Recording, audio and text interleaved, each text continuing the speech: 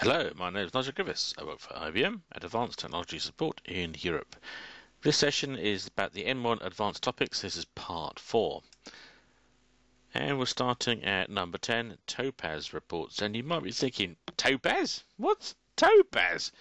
Well, for the Nmon for AIX, the code was merged into together with the topas command. So there's one binary, and depending on the name you use, it will either behave in Nmon mode or in topas mode. But did you know you can even flick between these two modes if you use the little tilde character and you can flip between the two. For example, here they are. Is if you're working in Nmon and Nmon mode, you hit the tilde character, it will flip to the topas mode. Sometimes the topas mode has some better stats or a better way of looking at things, particularly from a VIO server. But of course, everybody knows that. That's not advanced. Uh, that's not what we're talking about for number 10. Here, if you're running it on AIX and you run into a performance problem, and then support asks you, have you got the performance stats for a week ago when it was running nicely so we can compare and contrast to what's happening now? And then you think, oh no, we forgot to switch on Nmon and collect the stats. We have no stats. But ah, yes you do. Now, if you installed AIX in something like the last 10 years, that's a bit of a guess on my part, but quite a long time, then it automatically starts up Topas capturing performance reports every five minutes. They go into slash var slash perf slash daily and there's the last seven days worth of data is captured there. Um, it will delete the oldest one as it starts the, the new one up for the new day. Now these are binary files, don't go editing them. You have to convert them to something usable. There's various formats and you use the topaz out command to convert the binary into a normally a text file, but the minus a option is called nmon format. Notice the double quotes in that. So you just run that, and then you look in your local directory and you'll find a CSV file in there. It says it's Nmon format, but I don't think it's Nmon format. It's sort of slightly about right. Loads of formatting's wrong. Some of the stats are different. Uh, I don't think you'll ever get that to go through the analyzer. So I thought, I well, I actually had a large German bank that had a lot of data and they wanted to analyze the Topas data. So I took the Nmon chart that understands the Nmon files and hacked it about to understand the Topas data. And so we have a topaschart command. It gives you similar uh, graphs to the Nmon chart. If you then use the topaschart in here instead of Nmon chart, uh, you'll actually get a web page like you can with Nmon chart and you can see all the graphs. You download that again from the Nmon for Linux web page. At the bottom here, we have Nmon running with all these nice lines around boxes. It took me ages of programming to get that to work uh, properly.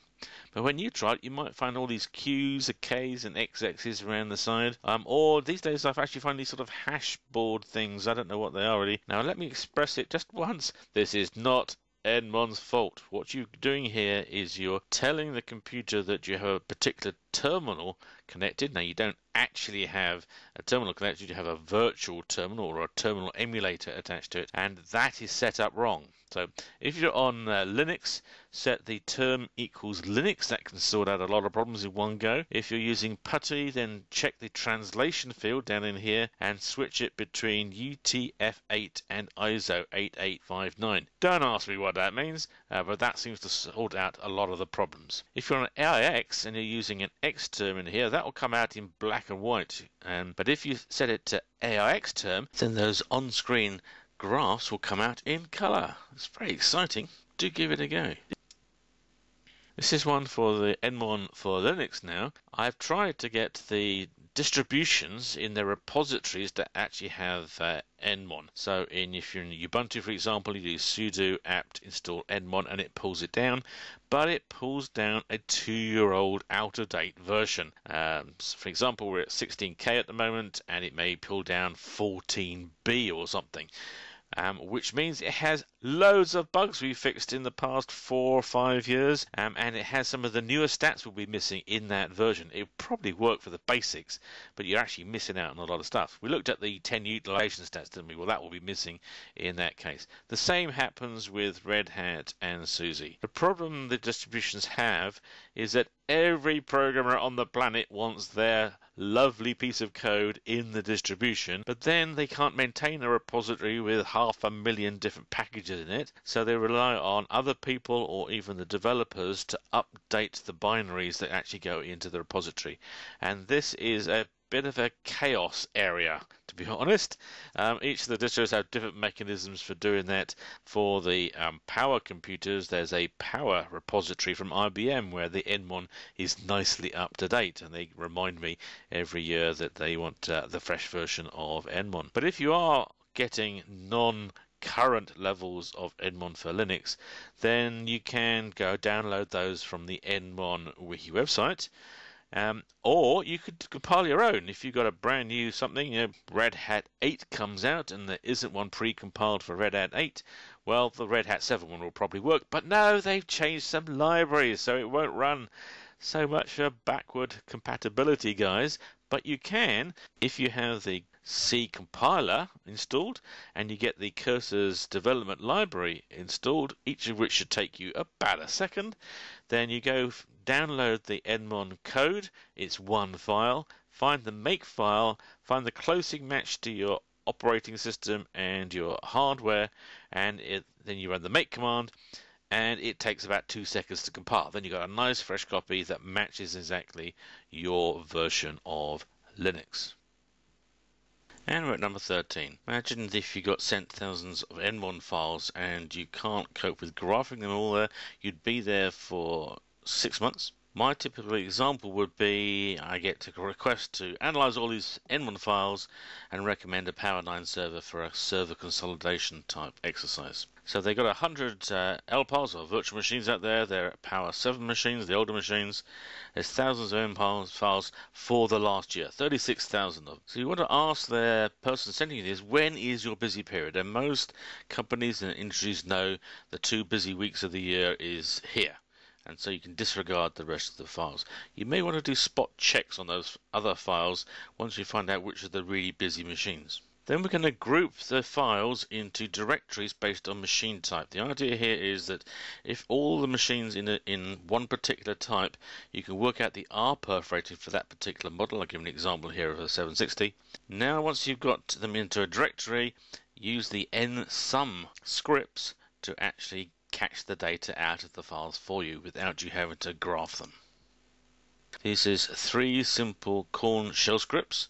Two of them are 50 lines of shell script and one of them 70 lines of shell script, so they're quite small. There's one called nsumgen, gives you things like the machine type model, the serial number, the amount of CPUs actually in the machine. Then there's nsum CPU that gives you some key facts about the uh, CPUs and the setup and most importantly the cores that are being used.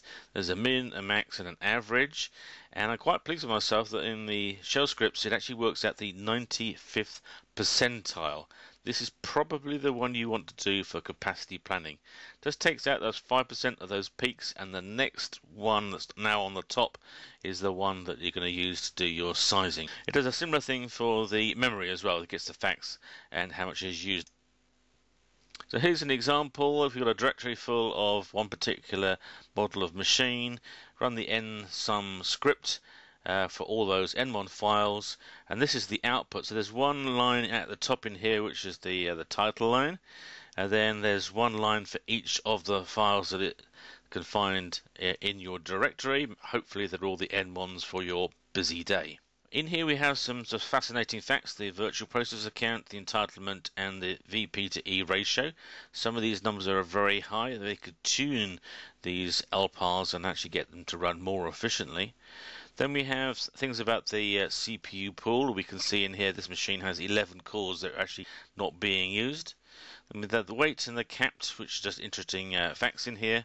Then we have the total. This is used to check that this is not an Nmon file that only has one record in it or something. So you can see this one is a little bit suspect. Very, very low CPU use. In fact, it's so low you might decide to switch that off and see if anybody notices. Then we got the min, the maximum, the average, um, and here's the the 95th percentile. And you see that usually is quite a bit below the, the maximum, but a bit above the average is what you'd expect in these numbers. So here you'd actually um, use this 95th percentile for server consolidation. You add up this column, let's say that's uh, 16 cores, you times it by the RPerf per core for this particular model, and then you know the CPU rating you're going to have to find for your Power 9 servers. All this is covered in more detail, and you can download uh, the scripts um, from my expert blog article. It's here with the same name as we have at the top. Um, fortunately, of course, the Expert blog is on, currently on the developer works, and that might be changing soon. So uh, go and have a look at that soon after the video comes out, or find out where my Expert blog ended up on the internet. Lots of working examples in here and loading those comma separated values into a spreadsheet and then you can get the, the spreadsheet to actually do the maths for you, times it by the RPerf number and map that onto a modern machine. Next up, 14. Um, you can limit Nmon to only look for disks of a particular name and processes with a particular name. Now, I think this is a particularly crazy idea because you could be missing the elephant in the room. Now, what I mean is this, this typically comes from somebody like perhaps a DB2 database administrator and on a big um, virtual machine, they've got the database running, but there's a whole bunch of other things running in here, but they only want to focus onto the database. That's all they care about. So they can select the disks they want for their database, and we can have up to 64 disks named in here. Um, this is AIX only, I noticed when I was writing this slide. For AIX and Linux, we can limit the process names. There's a minus capital C in here, and you list the names. Alternatively, you could set the shell variables before you start Nmon for Nmon cmd command 0 to 63 is another way of doing it. The problem I have with this is that you can see what the database is doing in my example, but maybe um, you're loading data into the database from a disk that you haven't named in here, so like a temporary base or disk that you're using to take a data load from somewhere else and push it into the database. That might be going very slow because that temporary disk is very slow and you never notice it in the data now. Or you might find your, your DB2 sync processes are actually going very slow, but that's because there's some bunch of shell scripts looping on a mistake in the code and they're sapping all the CPUs on the machine and that makes your database go slow, but you can't see it now because you've stripped out all the other commands. More info and a reminder, you can find it in nmon-h. Number 15 is cleanly stopping Nmon. Now, if you've got a very large machine with uh, perhaps hundreds of disks and maybe thousands of processes, and you're collecting the data on all those, then it can take Nmon um, a, a number of seconds to actually capture that data. Now, while it's doing that, if you run a kill minus 9 on it and stop it, then that last record is sort of partially complete. It maybe stop halfway through the line of the all the disk stats, for example. And when you push that through one of the tools that generates graphs, it could crash at that point saying, hang on, there's a funny line here. I was expecting 28 disks and there's two. And, and it all goes horribly wrong. Now, there are people like benchmarkers that when they start a benchmark, they don't know how long it's going to take. So they start it Nmon running, collecting nice rapid data collection. Um, and when it finishes, they want to then stop Nmon, but let's do it cleanly. So we have a minus P option here, and that outputs the PID of the process. Um, and um, we can capture that in this line in here. So here's the actual command we're running the, to start the Nmon in here put it in the uh, the bracket braces brackets and a dollar sign in here and that will actually run the command and return the value it comes out with which is the PID of the process and it saves it in a variable. We can um, print out the the PID on later on. This is how to cleanly stop it. You do kill minus USR2 this is signal called user2 to the process.